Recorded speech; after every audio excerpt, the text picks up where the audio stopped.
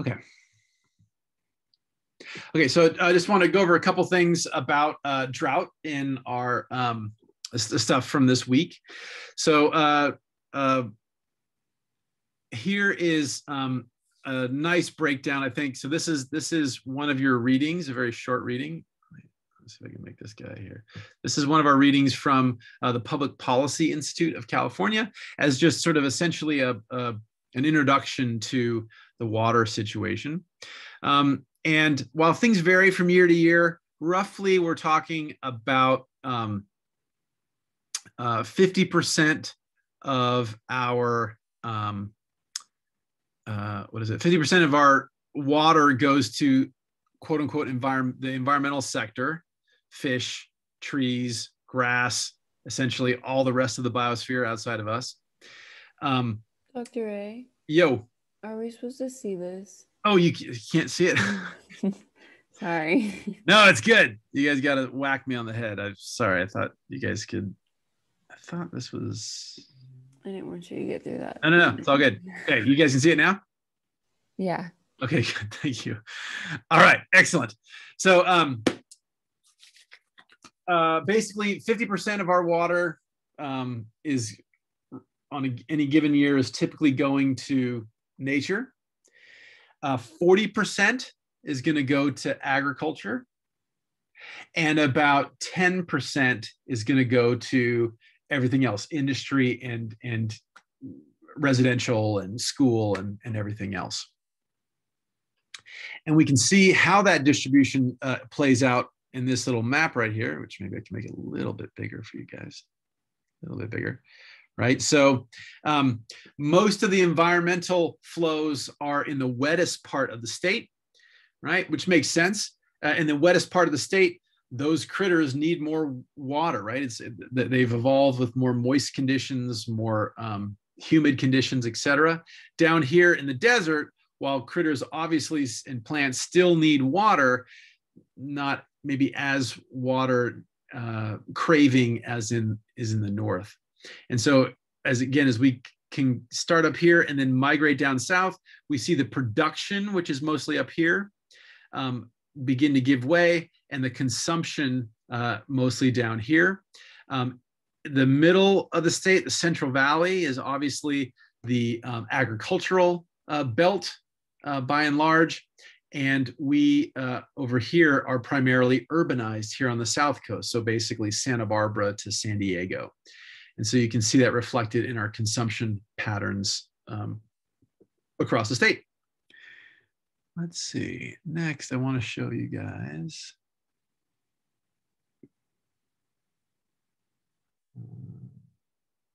It's not working all right here. Okay. Um, so I have a couple uh, example uh, newscast, not newscast, but just like you know a couple minutes of the news to, to, see how people are talking about drought and and weather and climate and all that good stuff. Um, let's look at this bad boy and this bad boy. Um, okay, so this week we're doing something a little bit different. So you guys have you guys have two uh, other than do the readings and the quiz and all that kind of good stuff, um, you have two basic assignments. One is uh, we need we're going to start talking about our um, case studies. Remember, if you recall, we're going to start doing um, profiles of uh, earthquakes or wildfires, whichever ones you guys are interested in. And so to start with, I want you guys to, to vote as to what topics you're most interested in. And then I'll pull those together and I'll, I'll start to assign people next week and we can, we'll talk about that. So, so I want to hear what, what the type of disasters you're most interested in focusing on for that. And then for our data assignment, we're doing something a little bit different. We're not focusing on generating graphs this week. This week, we're looking at um, uh, uh, interpreting data and looking at larger swaths. So what I've given you is I've given you a list of different um, publicly available data sets that speak to drought and drought monitoring. So we have the US Drought Monitor, and then we have uh, some uh, the conditions here in our reservoirs in the state. We have uh, some different measures of the rainfall in the different regions of the Sierra Nevadas um, we have a measure of how wet, how, how much uh, water is being um, held in the snowpack. And then uh, something that's just going to show us the, the general urban use of water. Um, urban use is um, potentially something we can more easily uh, uh, dial up and dial down in terms of water. Uh, so while it is true that that um, agriculture in California is the greatest consumer of water in the state, right? So about, it consumes water at a rate of about four times the water consumption of industry and residential. But because people are growing lettuce, they can't necessarily just take a pause on that, right? Because um, if you're growing lettuce, you need that water on the lettuce, or you're not to, or the lettuce is to die, and you're just not to do it, right? Which, in an extreme drought, sometimes it has to happen, but it, it, it's it can be harder to do that. Whereas if we hit a, a, a drought period, um, the thinking goes potentially that um, the the urban use can be more easily tweaked down a little bit, or or the demand can be uh, lessened a bit um, uh, relatively uh, easier compared to some of these other sectors. So well, uh, I want to just talk real briefly. So the most important, I mean, these are all important. So what you guys do is you're gonna you're gonna look at all these, and you guys are gonna uh, play around with this for a bit. I want you to look at these different metrics, and then you're gonna do an assessment for me. So you're just gonna do a very simple one, two paragraphs, one paragraph about California overall, and one paragraph about Ventura County. And the question is just simply, how's our water supply? How's our, how's our, what are our drought conditions like in the state as a whole and in Ventura County where campus lies? And so to, to do that, you're first going to go and, and look at these different um, data sets, play around with them, have a look, see what they're showing right now this week. And, um, and then after you've looked through them all, then you can start to make your your thesis statement and you can start to pull out some facts and numbers to support whatever your, your thesis is. And so you're going to write two paragraphs and you're going to submit that as a PDF. And so let's have a look at the drought monitor first. So this is the US drought monitor. Um, you can you can look at the whole US if you want. You can look at regions of the country, etc. What we have here in the drought, and this is for um, this is it's updated weekly. And so this is um, uh, uh, for uh, last week. And what you see here is uh, everything is broken down into a, a couple different levels. Uh, if it is um, clear, nothing's going on. And then as we start to get hotter and hotter, we get more uh, intense drought. And so um, the, the darkest dark whatever that is, Russ brown, um, is exceptional drought. And what we see here right now, and so again, this this is this is uh, relative. This is an absolute amount of rainfall. Okay, this is relative to what the rainfall historically is in these areas, right? So, for example, out here in the in the Mojave and the in the the, the dry deserts, um, there's going to be a different criteria than up here in or a different quantity will trigger um, say a d1 or a d2 or a d3 relative to the uh, very comparatively very wet um, northern uh, california areas okay? So this is relative to the particular climate in these various areas. Um, and so what we see here is we can see the geography showing up right? So we see some bands along the coast right? So we have our coast ranges we see some other bands maybe associated with the Sierras or things of that nature, valleys, etc. And um, and you are more than welcome to play play around with this as much as you like. You can look at other dates if you want to look at what trajectory we've been on. You can look at uh, you know previous weeks. You can look at previous months, etc. Um, you can uh, download different versions of this map right here you can uh, also, oops, sorry. You can also download uh, the raw data here.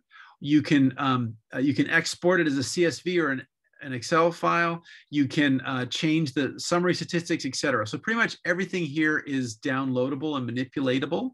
Um, but uh, and you're welcome to do that, but you do not have to do any any fancy graphing if you don't want to. This is rather, let's look at this line of evidence. What's going on with the state as a whole? What's going on with Ventura as a whole? And note on these interactive figures, um, if I if I um, uh, click on them, usually, maybe I don't have my pop-up turned on, but usually you can get additional data when you hover uh, and click on the various counties, and it'll, it'll give you usually the summary statistics um, of those counties. Okay, cool. So this is the U.S. Drought Monitor. This is compiled by uh, NOAA, the Na National Oceanic and Atmospheric Administration, which is part of the Department of Commerce. Why is NOAA the Department of Commerce? Well, because uh, when we were creating our um, modern structure for these different agencies, the idea was, oh my God, weather is super important to crops, weather is super important to farmers, weather is super important to transportation. So therefore, we're going to put this agency, which one of its main things it does is monitor the weather, predict the weather, uh, you know, document weather conditions, climate conditions. We're going to put this in the Department of Commerce. Okay, and then we have um, reservoir conditions. So now this is this uh, output here is a static um, figure. It's a PDF, but it's going to be updated. Um, uh, this one was updated last night. Is that last night? Yeah, last night. Um, and so this will be up to, if you look at this tomorrow, it'll be slightly different. If you look at the next day, it'll be slightly different. And so this is a measure of all of our water, large water holding facilities in the state water project, right? Boom, boom, boom. Those are these black uh, locations. And then this is showing us how much water is currently in that uh, reservoir behind that dam. And the red is the historical average. Again, we, we're talking about averages again, but this is the historical level that we can use as least a rough judge as are we in a wet condition, are we in a dry condition? Um, okay, and so that's that. Um, and then if, and then we have three different examples of the um, precipitation. Same thing. So this is also going to be a static PDF, but this static PDF is being updated every day. And so uh, for okay, so we have three different regions. We have a northern region, we have a region down around here, and then we have a region down here in the not exactly south, but sort of the southern part of um, the Sierra Nevadas, at least, um, in terms of our water generating um, um, snow pack. Um, and what we're looking at here is a cumulative accumulation over the year, over the and so our uh, that's one thing I didn't mention to you guys. I apologize. Water year. So water year is not a calendar year. So a calendar year would start on January 1 and go all the way to the end of December, right? A fiscal year will start at different times depending on the company. In the case of CSUCI, um, we start uh, uh, July 1 is our fiscal year. So our fiscal year goes from July to June. In the case of hydrological data, we talk about water years and or a water year, and that starts on October 1st of each year. In California, we have a rule of thumb that historically has been applied, which is um, we must have everything taken care of in terms of so let's say we're building a house or let's say we're working on a highway and we're doing a bunch of construction.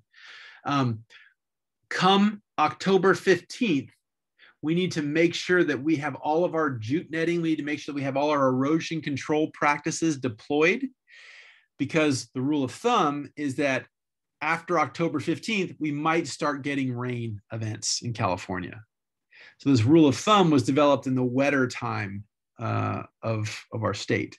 Um, now, as you as you guys can attest, we have very little rain in October, and unfortunately, in the last couple years, very little rain in November, and really it takes until December or Christmas slash New Year's for us to get the, our first sort of robust rain event of the year.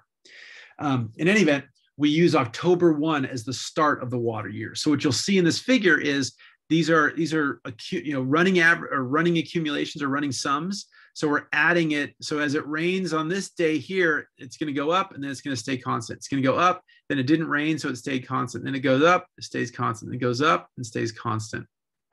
And so, um, uh, and and for comparison here, we have different years superimposed, different recent years superimposed on this, and then we have the long-term average, which is this light blue thing.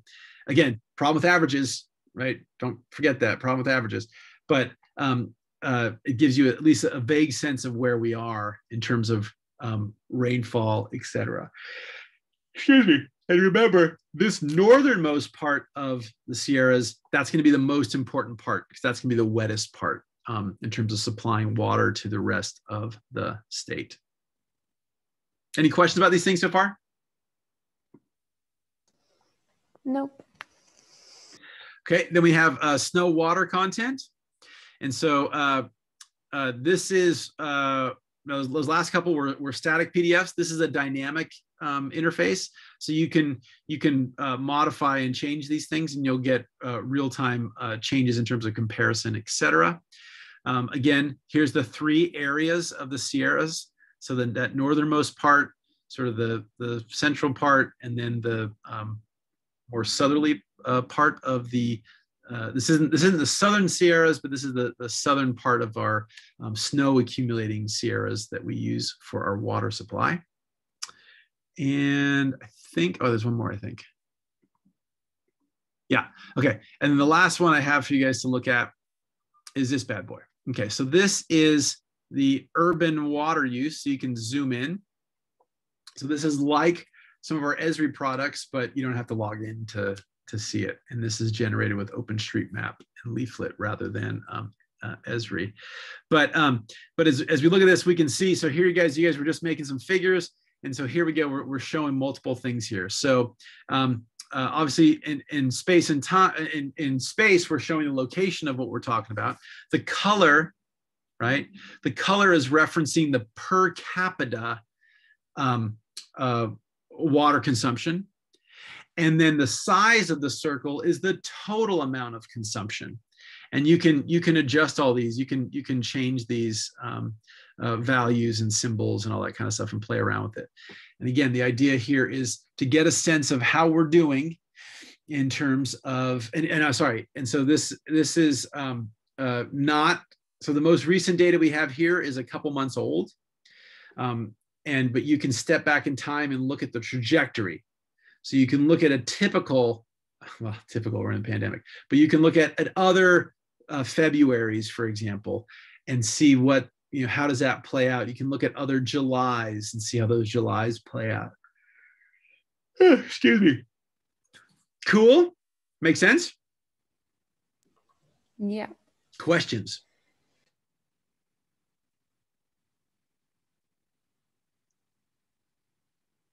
No questions. All right, cool.